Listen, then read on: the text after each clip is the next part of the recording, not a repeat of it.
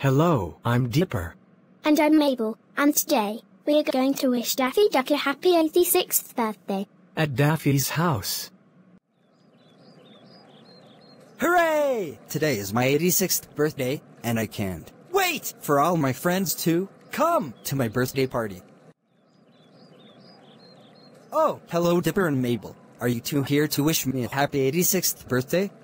Yes, happy 86th birthday to you. Happy birthday to you. Happy birthday, dear Daffy Duck. Happy birthday to you. Aw, thank you so much, Dipper and Mabel. I will be calling Grunkle Stan about this. You two can go home now. When Dipper and Mabel got home, Dipper and Mabel, thank you two so much for wishing Daffy Duck a happy 86th birthday. That was very nice of you two. I agree with Grunkle Stan, and you two are ungrounded forever. Y'all can do whatever you want. Thank you so much, Grunkle Stan and Ford. You were the best grunkles ever.